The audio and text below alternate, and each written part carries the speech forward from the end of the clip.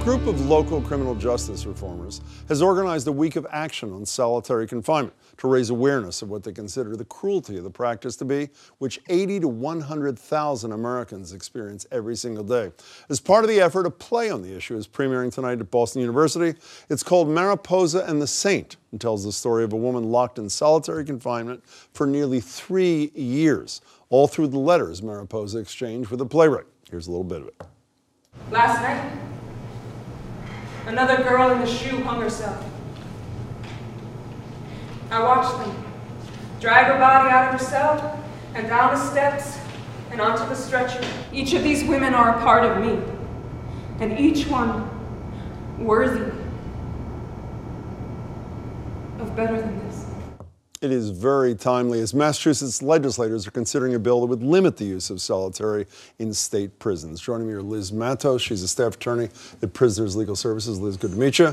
And Benito Vega, who spent more than a year, well, months in solitary and works with the Vincentian Reentry Organizing Project. Did I get that right? You did. Which helps people coming out of prison among its other missions. By the way, Essex County Sheriff Frank Cousins, who supports the practice in certain circumstances, agreed to be here, and then he had to, unfortunately, he had to cancel. Let me start with you, Lizz, just get some information. They said 80 to 100,000 nationally every day. Roughly how many in Massachusetts are on, in solitary on an average day?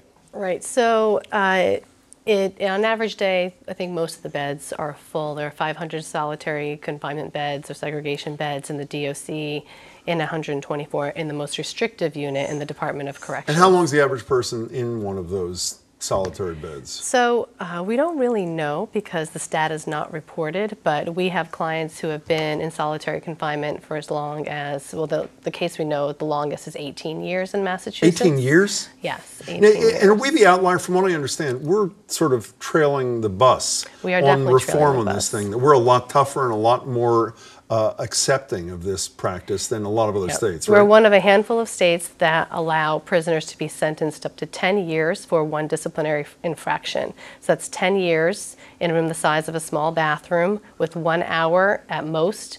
Um, or five hours a week at most out of out of cell time, and uh, with no hope of release until that sentence is One over. last thing that I hope is hopeful. There was an incredibly painful story. This Kalief Browder, who was this young teen, this mm-hmm. kid who was in Rikers Island for mm-hmm. stealing a backpack. Mm-hmm. Two years in prison as a result. Left, ended up killing himself. Uh, most people think as a result of this. That's what prompted the president to say no juveniles go to solitary in federal prisons. We don't put juveniles in solitary, do we? I mean, technically no, because we raised the age to to 18 in Massachusetts, but there are still you know 18 year olds, 19 year olds, 20 year olds. So late teens. spending plenty of time in solitary confinement in Massachusetts. Benito, I know you're a reformer now, but at one point you were in the system. You were, so- uh, my understanding is for four months and then another time two months in solitary confinement. Can you describe what what is that like? I mean, what's what are the conditions? What's it like every day?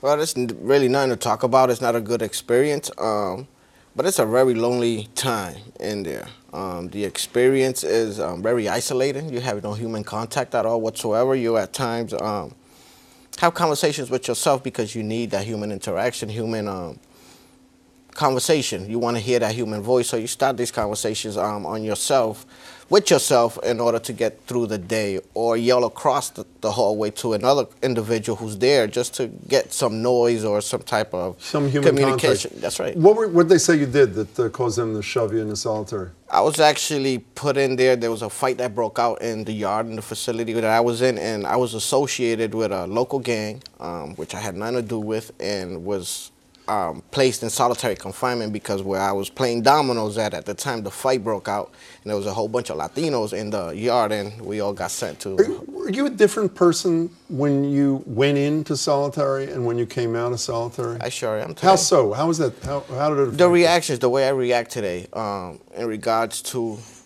my contact with other people, people standing behind me, the way I stand at the stores, the way I react to certain noises, um, or people's uh, walking by me, um, it's totally different. You're always at, at edge, and you're always trying to see who's around you instead of just being comfortable. Because of that time, not because, Because of prison itself, but because of solitary. because of that solitary. How big is that cell? It's not big at all. It's probably a little bit bigger than the back of an ambulance About bus. six by six by 10 feet. Six by 10 feet. You know what I understand about this? And by the way, if someone uh, commits a crime and prison is the appropriate remedy, my view is that's where they should be. However, this I don't get. I don't understand why. Have there been cases that we've gone to the Supreme Court saying, in many circumstances, extended periods of time in solitary confinement violate the Eighth Amendment? It's cruel and unusual punishment. Again, I'm not soft on crime, Yeah. but have there been those cases? Not yet, but Justice Breyer and Justice Kennedy have definitely signaled that they'd be interested in hearing such a case. There have been uh, cases alleging that putting, not alleging, uh, deciding that placing mentally ill prisoners, specifically seriously mentally ill prisoners in solitary confinement, is an Eighth Amendment violation. But the case hasn't been te- hasn't been tested in the Supreme Court yet. Beyond that, it hasn't been tested. Do you both agree that in certain circumstances it's appropriate? Meaning, if uh, if uh, prison authorities legitimately believe that you're a threat to yourself, or you're extremely violent and you're a threat to uh, a prison guard or to another inmate, in those circumstances, certain lengths of time in solitary are defensible, are they not, Benito? Um, it depends how you classify that. You know, sometimes you're being put in there just because you can't just say I'm a threat just because I looked at. But what if someone you are? What if you're really violent and I'm a guard and you're you have regularly threatened me and the conclusion is unless you're segregated from the rest of the prison population, I the prisoner or I the guard are at great risk because of you. Isn't that a reasonable situation? I don't think so. Yeah, you know What do you think? The uh, What do we do with that? I don't mean him, but what do we do with that? So the that bill man doesn't or abolish solitary confinement. What does it do? It limits it. So you can place someone if they're a threat or a danger. The facility retains the authority to keep that person in, in solitary confinement for a period of time. If you've committed a disciplinary infraction, violent infraction, uh, something that's dangerous, you disciplinary segregation would be limited to 15 days. But if you continue to pose a threat, you can stay in solitary do? confinement until could- you're no longer a threat. What couldn't they do? What couldn't they do that they can now do if your legislation They wouldn't be able to leave you in there for three years because you're talking back to a guard or you're spitting or you're having you're just having a bad day. Are there people in solitary confinement now in Massachusetts who fit that description, who did those kinds of things, and have spent years in solitary confinement? yeah, absolutely. Defying an order, um, being disruptive. And we're not talking. There are people who are spending long periods of time in solitary confinement for no reason at all. Or without meaning, a set date. Right. Like when I was put in there, um, they said, "Oh no, you're being you're being placed in segregation until you get transferred back up to maximum security Walpole." But there was no set date. So you don't even know what There to look wasn't. forward to. We For- only have a minute left, Benito. See, my, I think you make a powerful case, but my analysis from afar here, and you're working with ex-prisoners I as am. well. There's very little constituency for this. A kid's killed uh, in DCF care, Department of Children and Families. We all wring our hands, we're all upset, and then ultimately we move on because it's those people's kids. Well, you're not us. You're those people. You did something, but we don't care about you. How do you convince a legislator that the lives of somebody who have committed a crime should matter to them? What do you say to them quickly if you can? It'll be easier public safety matter. Like if you treat the issue while incarcerated or give them the proper programming while incarcerated, you'll make your community a lot safer. Right. It's you're, cheaper, you're cut too. off from programming while you're in solitary confinement, so that's really important to, to note. But also, uh, it's a public safety matter, absolutely. 96% of prisoners are released back into society. There's uh, an abundance of evidence showing that solitary confinement causes permanent damage after 15 days. So, why allow a practice that is expensive?